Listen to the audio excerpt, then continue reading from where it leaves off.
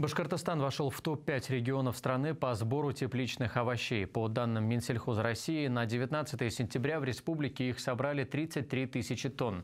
Это четвертая позиция в рейтинге аграрного ведомства. На первом месте традиционно остается Краснодарский край. Здесь урожай превысил 72 тысячи тонн.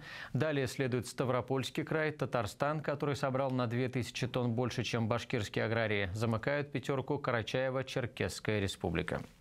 Пятерка это в сегодняшних условиях, в жестких условиях конкуренции, это очень хорошо, потому что главное не произвести вот, овощную продукцию, продукцию как раз вот закрытого грунта, сколько ее продать.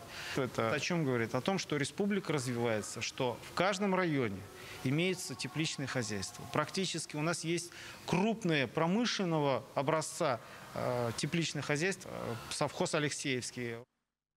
Всего по данным региональных органов АПК, валовый сбор тепличных овощей в целом по стране составил почти 580 тысяч тонн. Рост по сравнению с прошлым годом 23%.